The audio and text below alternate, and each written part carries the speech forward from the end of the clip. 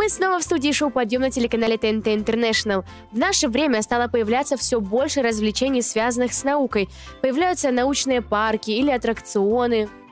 А также появляются курсы, на которых можно повторять опыты великих физиков, химиков и даже удалить аппендицит, ну, на манекене, само собой. Наши сегодняшние гости расскажут, как превратить изучение физики, химии и медицины увлекательное занятие. И даже покажут пару занимательных опытов.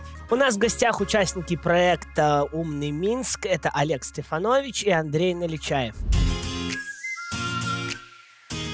Олег Стефанович окончил факультет международных отношений БГУ, занимался продажами и открытием розничных магазинов. Четыре года назад создал образовательный проект «Умный Минск».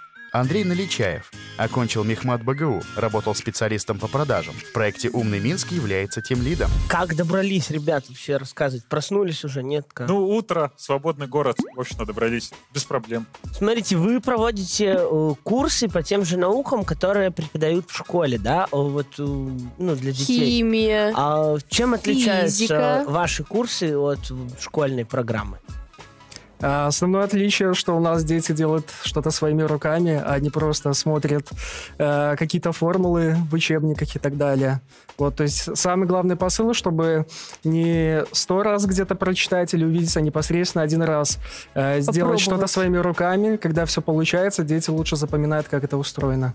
А как проходят ваши уроки? Во-первых, хотелось бы отметить, что не только по тем наукам, которые есть в школе, то есть недавно вот мы проводили программу по медицине, по-моему, в школе такого предмета нет. Не, ну на ОБЖ, Нету. наверное. На ну, ОБЖ да, вряд- я сомневаюсь, что на ОБЖ берут и вырезают желчный пузырь у манекена. Ну, это очень вряд ли. Программа проходит таким образом. Обычно у нас есть несколько лабораторий, все, которые связаны общей тематикой. То есть, допустим, это может быть там общая тематика электричества. Вот, и дети последовательно проходят э, группами по 16 человек, эти лаборатории одной за другой, и в каждой лаборатории чему-то учатся. Это то как есть- уровни. да, можно сказать, что и как уровни, но наша задача даже не дать им какое-то очень конкретное такое серьезное знание. Наша задача пр- пробудить в них интерес, потому что дешевле ребенка заинтересовать, чем нанимать ему репетиторов, и, как правило, это эффективно. Программы разрабатывают э, в Московском государственном университете настоящие ученые. Э, их переделать в такой формат, чтобы детям было интересно в формате такой как бы квестовой игры. Ну и мы непосредственно здесь уже занимаемся всем остальным. Если програ- программа по биологии, то, естественно, у нас задействованы биологи. Это студенты старших курсов, либо выпускники биофака БГУ. Если медицина, значит медики. Это не просто, колоссальная да, работа, аж не просто так с бухт-барах. Ты все такой, «А, будем А, детей, пошли будем детей учить. прооперируем. На последней программе, допустим, она была по медицине, она чуть отличалась. Мы реально взяли один этаж стадиона «Динамо», превратили в больницу. То есть у нас там было отделение реанимации, УЗИ, у нас там был какой-то рентген-кабинет, процедурный кабинет, клиническая лаборатория, и дети постоянно, так перманентно перемещались между этими помещениями. То есть к нему поступил пациент, он его отвел сначала в одно помещение, ага, взял анализы, пошел, значит, в лабораторию, его обследовать. То есть Да, как настоящая больница, Как только очередей только у нас очередей не было. нету, Да, Да. я хотел спросить, были вот эти из массовки-то? Мне только спросить. Да Ну, я здесь с 6 утра вообще-то. Вообще-то я, много, я мать, и у меня многодетная семья. Мне без очереди, у меня льготный талончик. Мне только спросить, да. Да, у нас, у нас были порезанные манекены, вот, поэтому они возмущались не очень сильно. А вот э, меня весь наш разговор очень интересует э, вот этот вот э, шар Теслы, да? Для чего он здесь? Он же не просто для красоты стоит. Походу, это конус Тесла, мне очень нравится. На самом деле это высокочастотный излучатель высокого напряжения. Вот. Как вы наверняка заметили, да, внутри у него бьют молнии, это тоже не случайно. Дело в том, что там внутри находится благородный газ, вот, который не вступает в реакцию, но очень прекрасно проводит вот эти молнии. И, и, конечно же, он продавался как элемент э, декора, да, для помещения, но мы его как бы взяли В немножечко научных даже... целях. Да, в научных целях немножечко его прокачали, вот, ну и, соответственно, он может делать различные интересные эксперименты, да, то есть вот, например, у нас здесь присутствует лампочка, да, он может, соответственно, на расстоянии ее зажигать.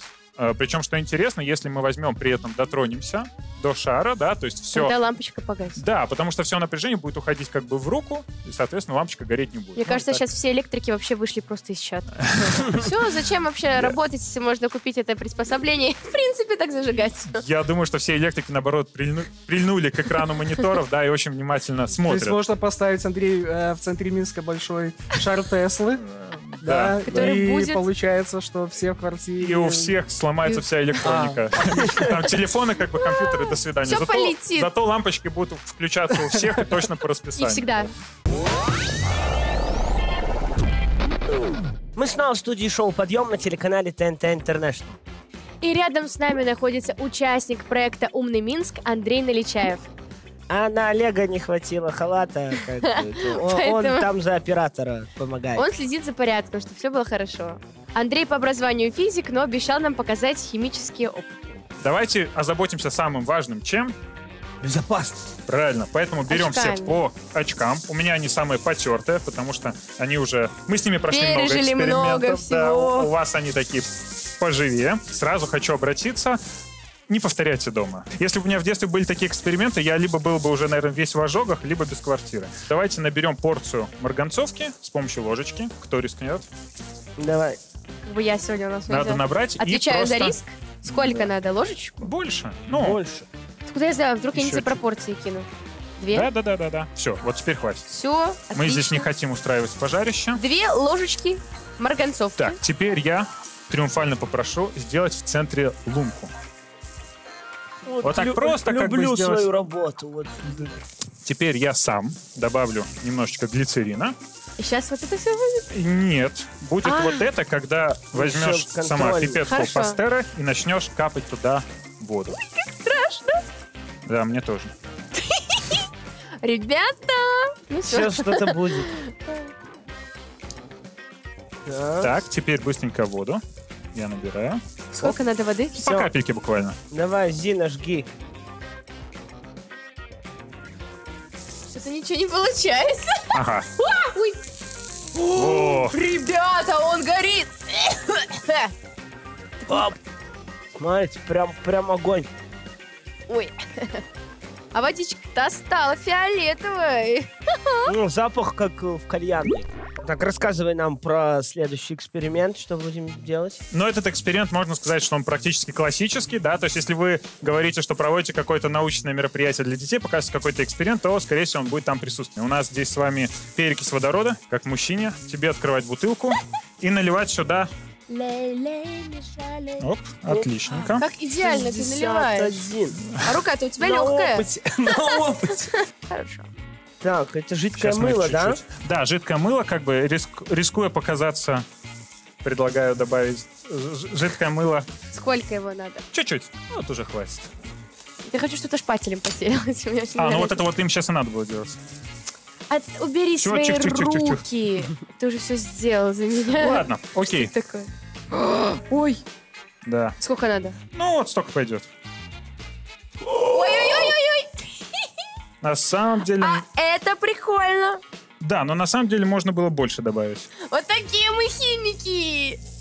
Хорошо. Следующий, последний эксперимент. Рассказывай, что будем делать. Ну, на самом деле мы будем получать с вами э, кислород, Мгм. да, из той же перекиси водорода, Водорода. и, соответственно, нашей марганцовки. Все? Ага, хватит. Хорошо. Ну и Конечно же, я и марганцовка. Один шпатель. Так, сколько надо? Ну Я вот столько пускай будет.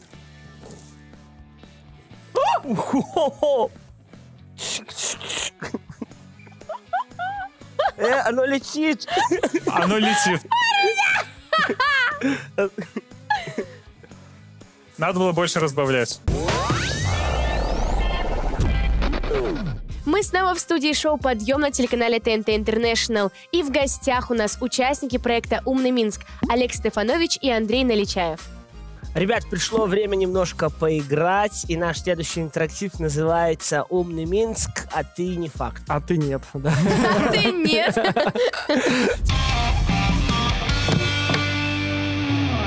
Смотрите, правила предельно простые. Вы вот э, проводите курсы для детишек, и я сейчас буду вам задавать вопросы, такие, в принципе, как любят задавать дети. Там, почему небо голубое, почему вода мокрая и так далее. Там. А, Вы будете соревноваться с Зиной. Зина, Зина знает все о детских каких-то курсах. премий там, да? Да. Шнобелевская. Какой-то Так. такой. Итак, эм, что, где, когда. в году точно 365 дней? Да. Это вот это вопрос? весь вопрос, Это да. вопрос? Да, Ну, но не нет. всегда. Нет. В каждом году 365 дней и одна четверть. И, ну, поскольку мы, и когда их накапливается, соответственно, у нас появляется дополнительный день. Вот, я Да. тоже это хотела сказать. А, так все, ты по такой схеме будешь постоянно играть. Так, Совершенно верно, Андрей, поддерживаю. правильно. Вы я- прекрасно я- развили мою мысль. Ну Правильно. да, так я Андрюха, это имела... Андрюха хоть Я это сформулировал нормально. Я это хотела по-обычному сказать, по-народному, а он-то просто научными словами объяснил. Правильно. Ой. А, Правильно. На самом-то деле, да, 365 дней 256 Тысячных. тысячных. Ну, одна четверть. Одна Ну, четверть, все да. верно. Я ж сразу вижу по глазам не глупый паренек. Молодец. Ты, Зина, тоже молодец. Давай, давай. Итак, а, следующий вопрос. И на него отвечает первая Зина. А почему утята ходят гуськом? Они приняли эту эстафету у гусят.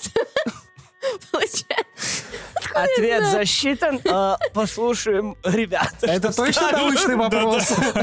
Или здесь Мне какой-то кажется, есть... они просто так не теряются. Они вот видят хвостик братца, там, сестрицы, и так за ним генетически. Слушай, Андрей, ну по Природный логике вопрос. вещей это какой-то стадный рефлекс, Да, где, стадный чтобы инстинкт. чувствовать себя в безопасности, они все идут друг за другом, чтобы не потеряться, да? Но опять же, они довольно ярко выглядят, и особенно ну, на ранних стадиях, я думаю, что им проще найти друг друга, и гусыне проще их найти.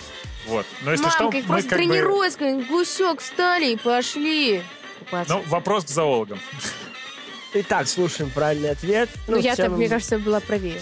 Утки часто строят гнезда далеко от воды, и чтобы добраться до водоема, им необходимо пройти большое расстояние. Если утенок по дороге теряется, то он попросту обречен на гибель. Поэтому птицы вынуждены идти друг за другом след в след.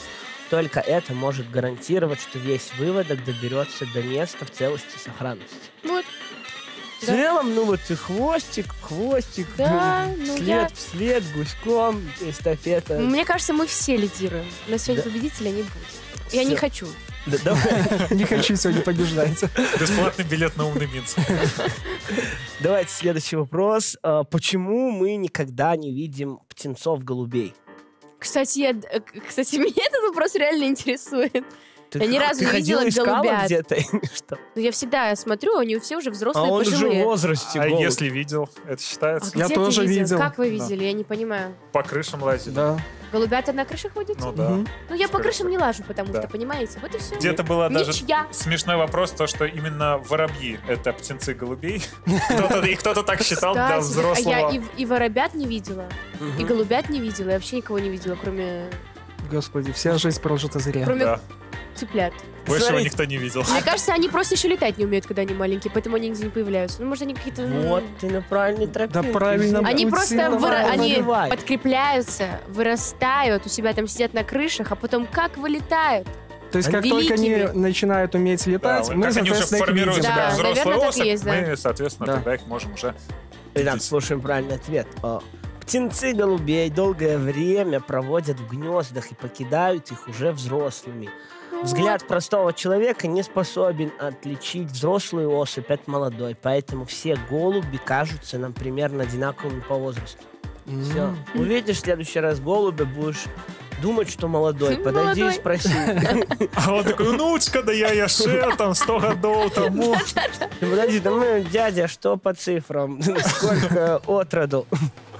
Так, давайте следующий вопросик. Почему голова акулы молота имеет такую форму? Есть ответ. У нас есть ответ. Что, какая? Хорошо. Носит шапку молоток? Нет, по-моему, это связано с эхолокацией, во-первых, да, то есть у ни- у них же здесь расположены как раз-таки чувствительные, ну, органы, которые чувствуют вот эту локацию, раз, а во-вторых, из-за расположения глаз, то есть она может видеть вокруг э, себя, ну, какой-то Ну, очень большой градус. 360. Вот Да. так. Ну, вот что-нибудь такое, наверное, что-то Типа бли- ну, с большим углом, видит, в общем, да. она видит. Мгм.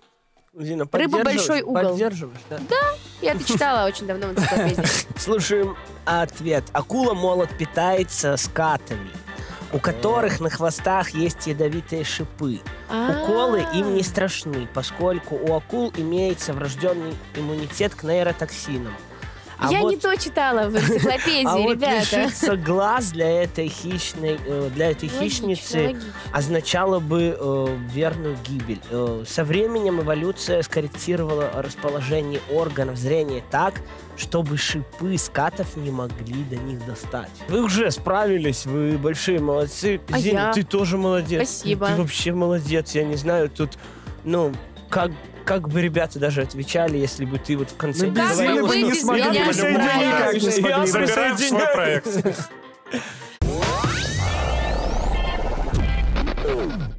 Вернулись в студию шоу «Подъем» на телеканале ТНТ Интернешнл и продолжаем общаться с участниками проекта «Умный Минск» Олегом Стефановичем и Андреем Наличаевым. Ребят, смотрите, сейчас в последнее время все чаще и чаще кто-то опровергает какие-то факты уже такие устоявшиеся. Там, к примеру, Земля на самом деле плоская, там э, никакой цепочки эволюции не существует. Э, Почему так происходит? Вот вы как думаете? Ну, да, я с удовольствием отвечу.